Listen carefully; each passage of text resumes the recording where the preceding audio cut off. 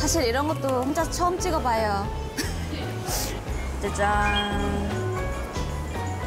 태국어로 주문도 하고 뭔가 물어보기도 하고 많이 배운 것 같아요. 그래서 나중에 할 수 있지 않나. 할 수 있을 것 같으니까. 어, thank you. 레드벨벳 화이팅이라고 하셨어요.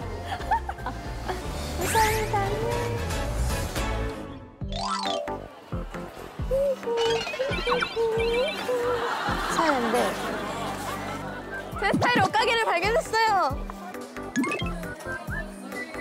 옌, 살 거지?